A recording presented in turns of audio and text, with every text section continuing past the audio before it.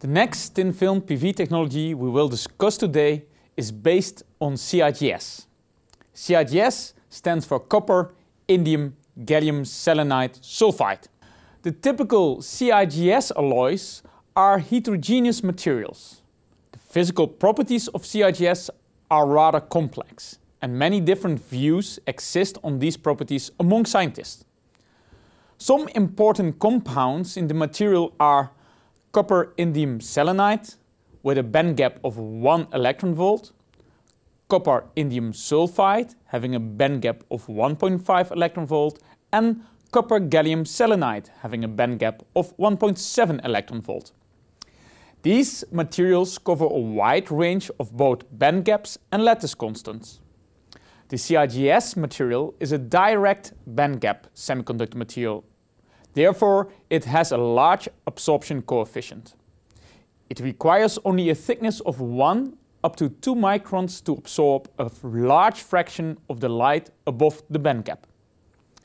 Typical electron diffusion lengths are in the same order of a few microns.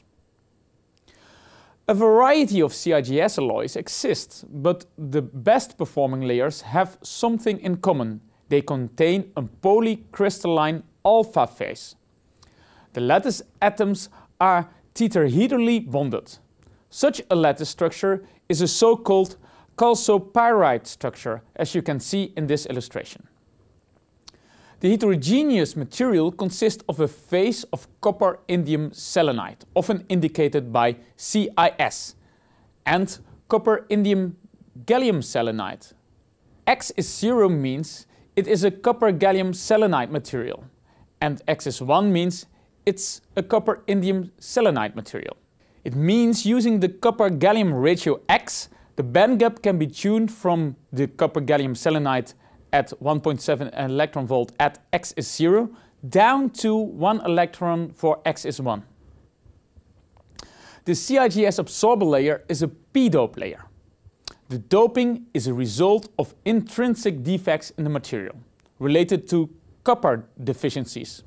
These vacancies officially act as an acceptor. It means electrons excited from the valence band can get easily trapped.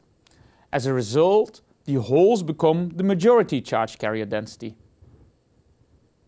Let's look at a typical CIGS solar cell structure. The substrate is glass. On top of the glass, a molybdenum layer with typical thickness of 1 micron is deposited, which acts as the back contact. On that, the p-type CIGS absorber layer is deposited, with thickness ranging from 2 up to 4 microns. The PN junction is formed by a thin N layer of around 50 nanometers on top of the p-type CIGS that is based on cadmium sulfide. This layer is referred to as the buffer layer. The N-type region is extended with an N-type TCO. First, an intrinsic zinc oxide is placed, followed by an aluminium doped zinc oxide. The aluminum doping makes the zinc oxide N-type. Similar to some concepts of the thin film silicon technology, the aluminum doped zinc oxide acts like a transparent front contact for the solar cell. On top of this transparent conductive oxide, anti-reflective coatings can be placed as discussed for the crystalline silicon technology. Here we see the electronic band diagram of a CIGS solar cell. The light enters the cell from the left at the zinc oxide side the p-type CIGS absorber layers used in industrial modules have a typical band gap of 1.1 to 1.2 electron volts. This band gap is accomplished by a ratio of gallium to indium of around 0.3. The N-type cadmium sulfide buffer layer has a band gap of 2.5 electron volts. Since the band gap of the N and P-type junction materials are different, this CIGS cell can be considered as a heterojunction. The light-excited minority electrons in the CIGS layers have to diffuse to the cadmium sulfide CIGS interface to be separated. The holes diffuse to the molybdenum back contact to be collected. Here, the holes recombine with the electrons supplied from this molybdenum back contact. Zinc oxide acts like the front contact. The band gap of the zinc oxide is very large, minimizing the parasitic absorption losses in this device. The electrons have to be separated at the CIGS cadmium sulfide interface. As with every interface, this interface has more defects and could act as a loss mechanism to the minority electrons. This can be prevented by placing an N-type CIGS type of layer between the P-type CIGS and the cadmium sulfide interface, which screens the cadmium sulfide CIGS interface from the holes. The N-type CIGS is an indium-rich alloy like copper, indium gallium 3, selenide 5. In copper-deficient P-type CIGS materials, the dominant recombination mechanism is Shockley-Read-Hall recombination in the bulk.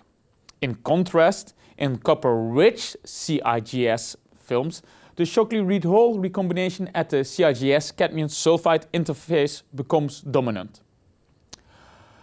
One of the important aspects of CIGS solar cells is the role of sodium.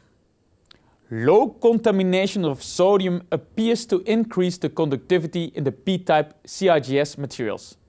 It leads to a welcome texture and an increase in the average grain size. Similar to multicrystalline silicon as discussed last week, the larger the grain size, the less grain boundaries and less recombination are present in the material.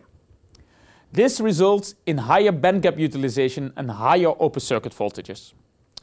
Typical optimum concentration of sodium in the CIGS layers is 0.1%. The sodium source in the growth mechanism can be the soda lime glass used as substrate.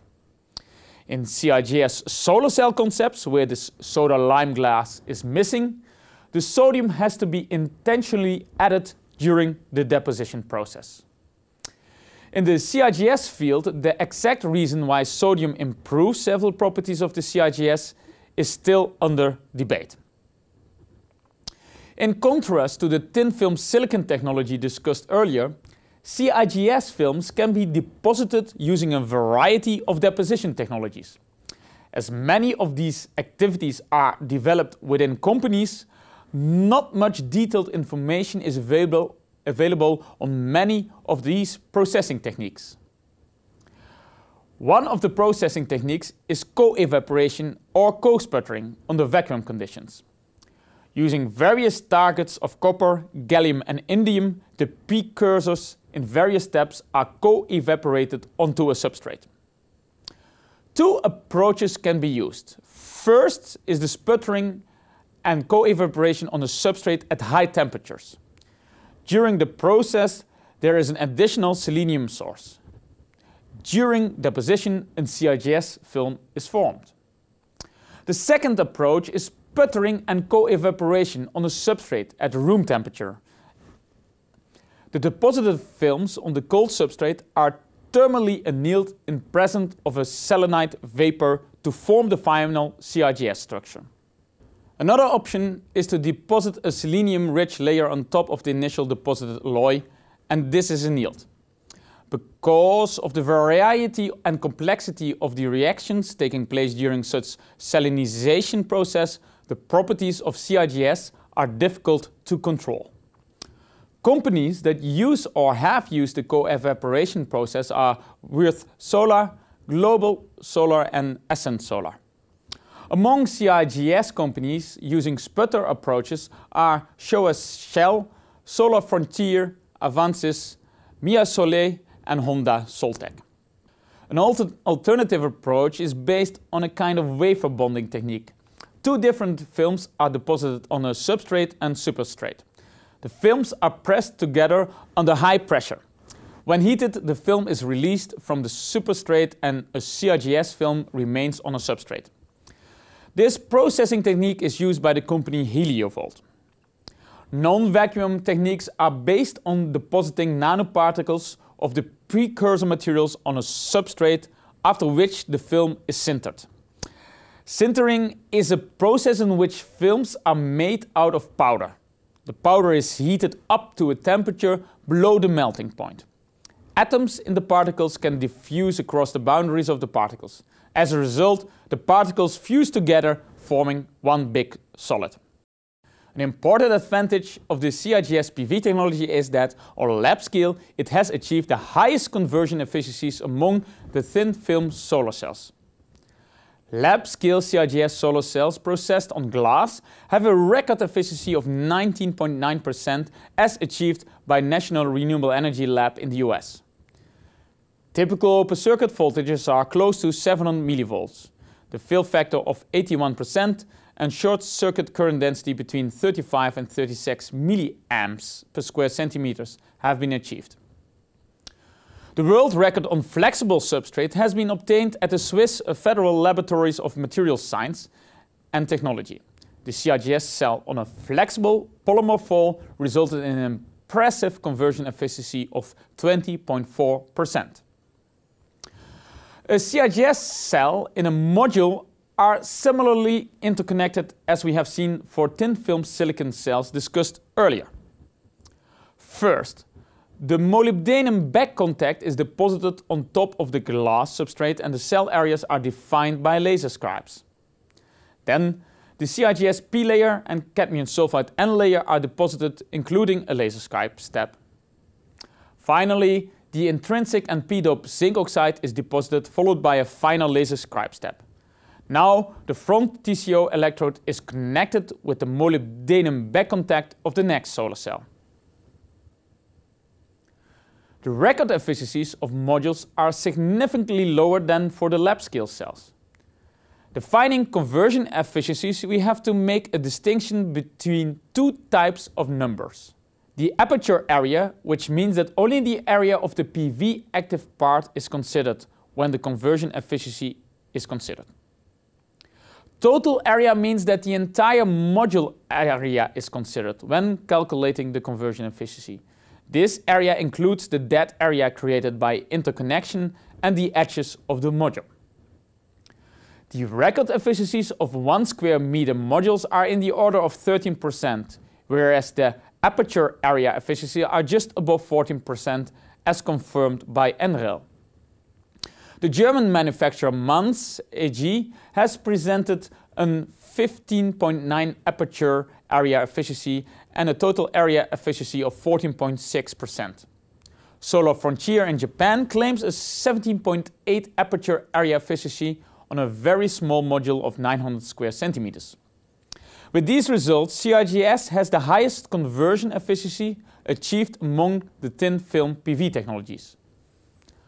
However, as CIGS is a rather complex material with complex deposition processes over large areas, an important challenge for the CIGS PV industry is to achieve a high production yield of CIGS modules.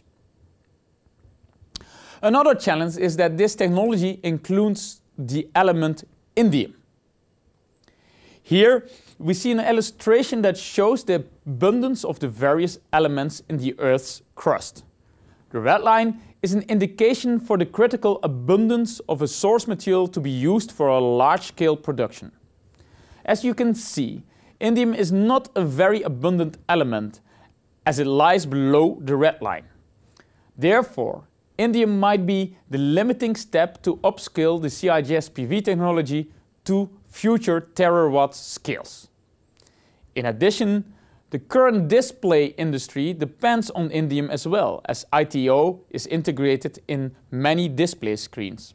Consequently, the interest in copper zinc tin sulfide, referred to as CZTS, is increasing to replace the CIGS absorber layer.